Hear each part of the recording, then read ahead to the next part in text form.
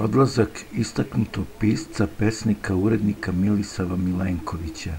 Pisac obimnog i raznovrsnog književnog dela i neumorni kulturni pregalac Milisav Milenković preminuo je preksinoć u Požarevačkoj bolnici u 82. godini od posljedica korone. Rođen je u Malom Crniću 1939. godine, završio je studija prava i fakultet dramskih umetnosti i objavio 19 pesničkih knjiga, među kojima su Odisej se nije vratio, Šekspir, San i krv, četiri godišnja doba u Beogradu. Autor je i tri romana, Bolest Brestova, Doba vetrova, Prsten za Evu, tri knjige priča, nekoliko drama, tri knjige eseja i kritika. Ovenčan je književnom nagradom Kočićevo pero, Milan Rakić, Simo Matavulj, Dunavski Orfej, Povelja Morave, Vukova nagrada. Ostaje upamćen kao urednik časopisa Stigi Braničevo, osnivač Festivala dranskih amaterija Srbije Fedras i glumačkih svečanosti Milivoj Živanović. Uz to bio i predsednik Fonda za kulturu Srbije, KPZ Srbije,